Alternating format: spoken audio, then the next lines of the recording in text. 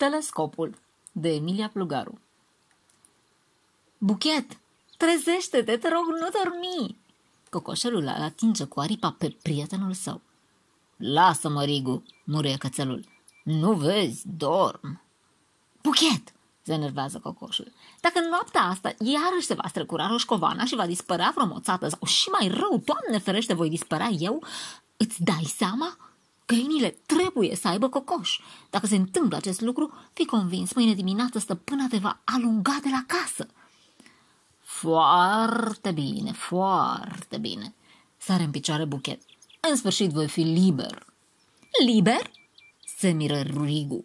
Știi ce înseamnă pentru un cățel ca tine să fie alungat de la casă? Înseamnă că nu voi mai avea lanț și că voi face tot ce îmi va trăzni prin cap. Greșești, buchet. Un cățel alungat devine un cățel vagabond. Ce înseamnă vagabond? Întrebă curios buchet. Înseamnă că în ograda noastră nu vei mai fi primit și nici într-o altă ogradă nimeni nu îți va da de mâncare sau apă de băut. Vei dormi sub cerul liber, bătut de ploi și de vânt. Iarna vei îngheța de fric și nimeni nu îți va oferi un adăpost. Nu vei avea nici măcar o coajă de pâine. Vei răscoli prin gunoaie ca să nu mor de foame. Te vei ruga de oameni să te ia la ei, dar vei întâlni oameni răi care te vor bate, te vor hărțui. Câinii buchet sunt făcuți să slujească cu credință stăpânii. Eu îmi slujesc cu credință, stăpâna. Se ridică speriați din culcuș buchet. Da?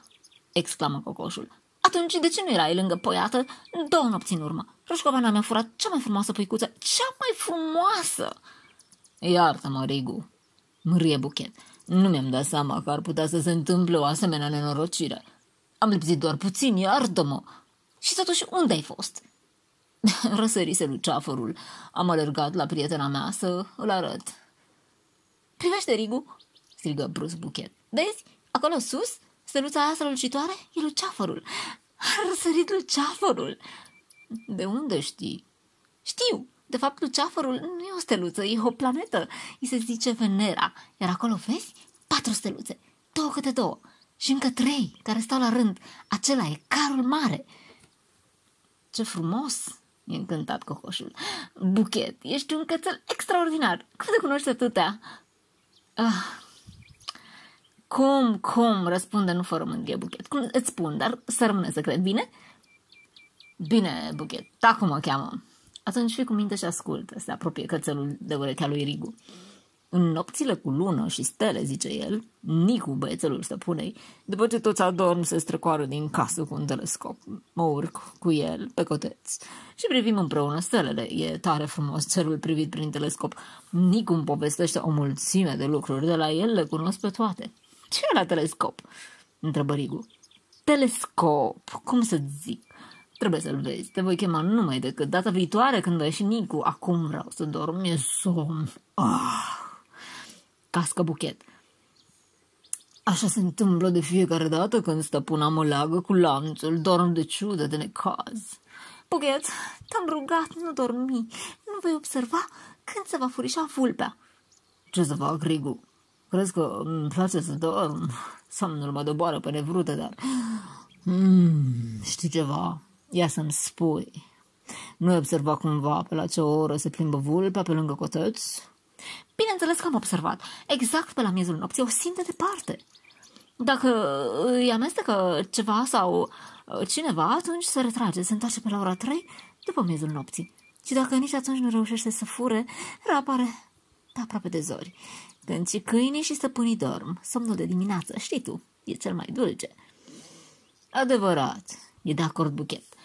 E foarte dulce, mai ales după ce o noapte întreagă stai de veche, rigul său, că nu vreau să dorm și nici să devin vagabond nu vreau. Trezește-mă, Rigu, te rog, înainte de a veni Roșcovana. Cum? E nedumerit cocoșul. Cum, cum? Se scarpină după ureche buchet. Cântăm, de exemplu, uite așa, cu crigu, rigu, cu crigu, rigu. Mă voi trezi numai decât. Da, dacă zici, voi cânta. Precis că te trezești? Bineînțeles, Rigu. La glasul tău mă trezesc. Nu te îndoi nicio clipă. Cucuricuricu, cucuricuricu, cântă cocoșul exact după miezul nopții. Ham, ham, ham, sare buchet și alargă pe lângă ușa cotețului. Unde e vulpa? Unde e că o sfârșit tot acum? Cocoșii de prin Mahala îl aud pe Rigu și cântă la fel.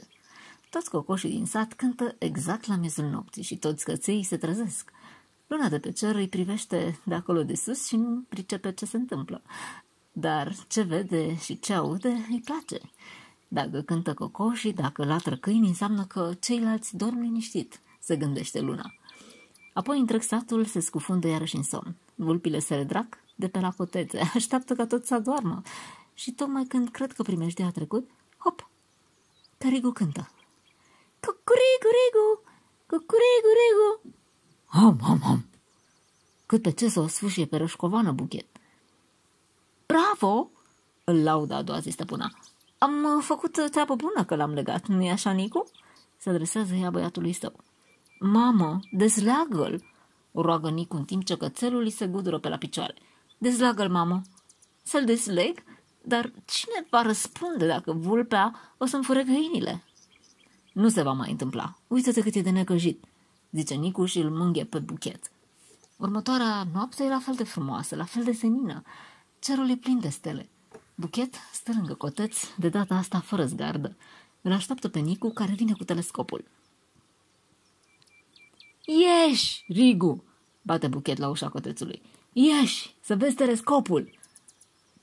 Rigu privește prin telescop. Se minunează, n-a mai văzut așa ceva. Deodată îi se pare că acolo sus sărește o matahală de vulpe ce se furișează tiptil, tiptil spre o crămășoară de steluțe.